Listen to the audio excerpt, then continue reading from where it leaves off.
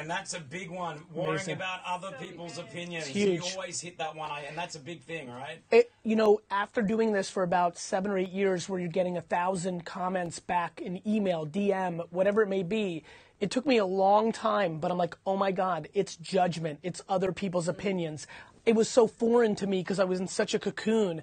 I, I never listened, you know, so many things that kept me away from bad things as a teenager was I was in my own head. Nobody else's opinion penetrated me, which didn't lead me to those actions. So it was foreign to me to realize, oh my God, the rest of the world lives a different way. Yeah. And and that is why I'm trying to suffocate that because the more I can get people into a place of feeling confident about themselves for themselves, it, it, it's unbelievable what happens when you can actually cut out the noise of judgment of others.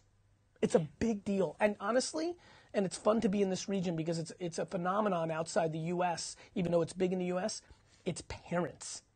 The amount of people right now who are listening, who are living their lives 100% based on their parents' opinions is staggering. Now, let me create some clarity. If you want your parents to pay for your lifestyle, well guess what? Then they own you. Yes.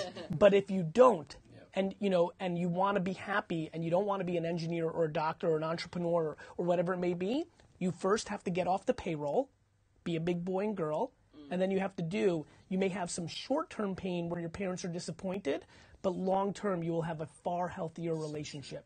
Because the only thing your parents usually are worried about, unfortunately, is the judgment of others.